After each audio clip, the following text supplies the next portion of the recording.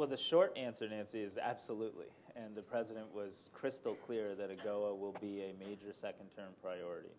Um, and uh, he was also very clear that as we pursue a renewal of AGOA, we want to do it in a way that uh, connects our development investment to the opportunities that that creates. Mm-hmm. Uh, and we launched, for example, in the East African community, a program called Trade Africa, which we will expand to other uh, regions within Africa, recognizing that intra African trade still hardly accounts for 10% of the region's total trade. In other parts of the world, it's 40% or 60% in Western Europe, for example.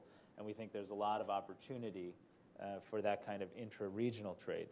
The in addition to that, the president was also very clear that as we pursue an AGOA renewal, will you know there are issues that will have to be worked through so that companies on both sides have a level playing field and can engage in an effective way. And there are a few a few issues related to that in South Africa, for example, that you know we're going to need to work through. Mike Froman was on the trip as the newly mm-hmm. minted uh, ambassador uh, for uh, as the U.S. Trade Representative.